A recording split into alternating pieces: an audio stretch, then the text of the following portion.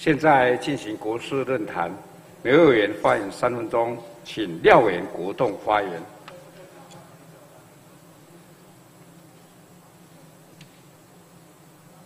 请廖委员国栋发言。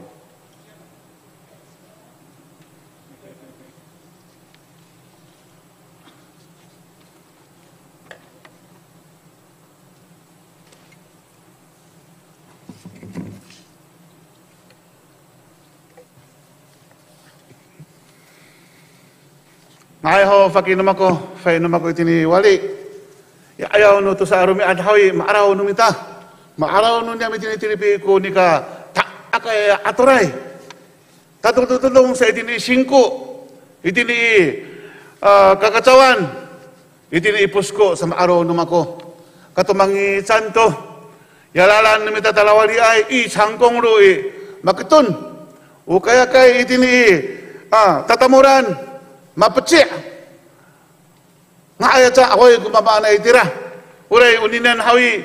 Hara teng no maku arau. Itini i anco ya ho tong sin no mita sa ku ba arau na maku tini simpung. Canto kuninian. Ni ciwi kita tu ni iku nirahawi wahatinya ya aturai.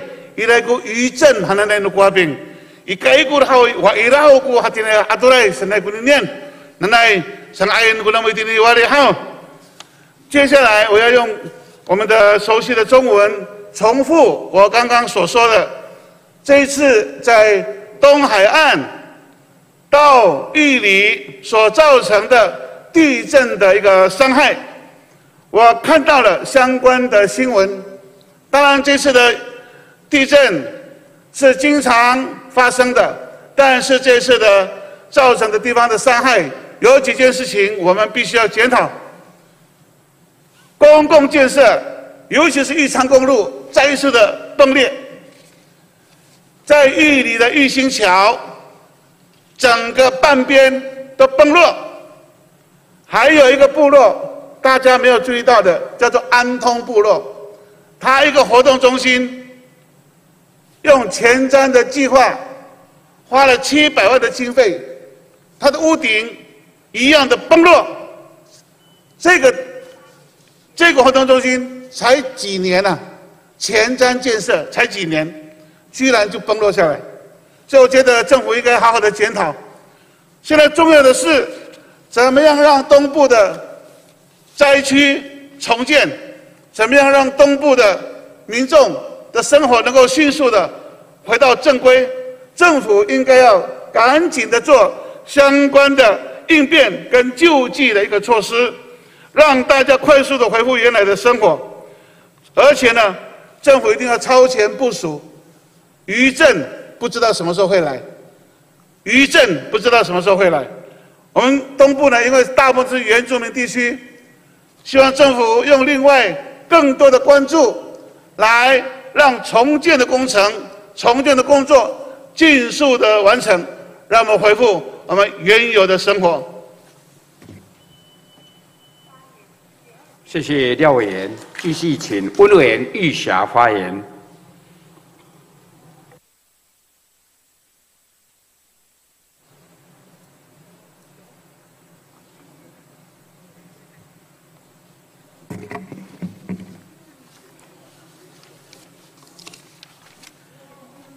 好，主席，各位同仁，大家早。我今天要谈的是扩大查气失联的移工，移工无故失联，而且滥用转换制度的问题十分的严重，让许多雇主因困扰不已，甚至求助无门。因此，玉霞和几位同仁在三月十一号召开公听会，请各方关系人共同研议如何修法或是加强取缔，以杜绝诸多乱象。公听会后，移民署便在最近对国内的警政人员进行一次的内部问卷调查。那么调查的主题是：如果逃逸移工在十月三十一号之前自首的话呢，则只是限制他赶快离境；自十月一日起呢，才开始扩大查缉。移民署进行这份问卷调查，当然是因为计划从十一月一日开始扩大查缉，因此先看看基层警员的警政人员的反应。移民署这个动作透露出几件事情：首先，移民署确认逃逸劳工呢，它只是违法的；其次，违法情形非常全面性的，而且问卷调查范围普及全国。再来，政府以以往对移工逃逸并没有积极的管理，以至于问题扩大到不得不面对。立霞首先要肯定移民署对于面对这个问题呢，但是既然是违法，就该执法，为什么还要等到十一月一号？为什么不是三呃七月一号，或是说在提前？根据。相关产相关产业人士的估出估，目前逃逸的移工呢，大约在七万人左右。如果以每一个人月薪三万元计算的话，那就有二十亿元的规模逃避就业安定会的相关义务。对于国内劳工的权益来讲，这是造成多大的伤害？目前对移工逃逸现象落实管理，是因为前几年疫情的严重，为了防疫，各移工输出国及输入国都有边境管制。移工输入实在是诸多不方便。为了兼顾国内移工需要，因此对已入境的移工管理相对较为宽松。现在疫情逐渐趋缓，是该回归正常供需的管理了。如果在政策上仍然放任移工市场成像乱生的乱象成生的话呢，那就是伤害国人及国内劳工的权益。希望移民署能够尽快扩大查缉逃逸移工。以上，谢谢。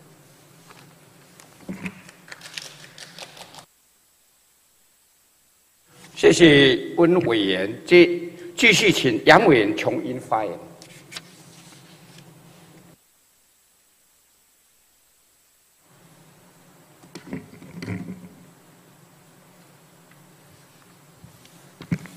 院会主席尤院长，各位同仁，新闻界的朋友，杨琼英发言：九大饲料厂联合涨价。行政院农委会讲干话。二月十一日，行政院副院长沈荣金呢，副院长赴台湾饲料工业同业工会，与国内呢五大饲料业者座谈。饲料业者当中达成的共识是，经考虑政府已经宣布免征玉米五 percent 的营业税，决定支持政府稳定物价，暂不调涨饲料价格。以舒缓中游我们的畜产业、禽业以及下游的餐饮业、批发零售业等成本上游的一个压力上涨的压力。那农委会主委陈吉仲先生呢，在三月二十一日到立法院经济委员会备询的时候，所有也曾经说，所有的饲料价格到三月底前是不会变动的，但是。我们看到陆续有九家的事业料呢业者呢，在三月底以前调涨每公斤零点五元，引发的农民的怒火，直逼是打脸行政院以及农委会讲干话是不用钱的，政府的承诺都没有用的吗？我们看到国内的饲料厂福茂油脂宣布，三月十一宣布至三月十六号饲料每公斤调涨零点五元。福寿实业三月十六号宣布，三月十八号起，我们的他们的畜禽饲料全面也调涨每公斤零点五元。统一企业三月十八号宣布，即起禽料、猪料每公斤调涨零点五到零点六元。茂生农金三月二十一号宣布，起涨零点五元。台湾普丰三月二十一号也宣布，三月二十二号调涨。零点五元，农生企业三月二十二宣布，即日起每公吨调涨五百元。换句话说，一样是每公斤调涨零点五元。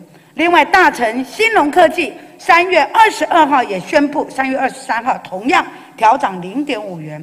国兴产畜产三月二十三号宣布，三月二十四号也齐涨零点五元。农民说。增加零点五元一个月，要增加五万块以上的负担。那么我们心想，目前九大厂每公斤均调涨零点五元，在同一个时间涨调涨同样的价格，这不是垄断？什么才是垄断？农委会、公平会，你们看到了没有？你们都睡着了吗？所以我们在这边呼吁农委会不要只有说不会涨，结果是如此，结果是大家一起涨，请好好照顾农民，拿出政策。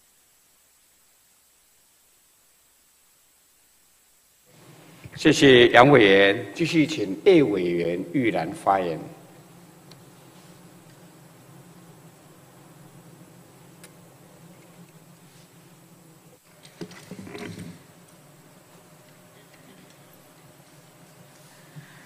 院长早，二月二十四日开始，俄罗斯入侵乌克兰到今天已经满了一个月了，目前还看不到终点。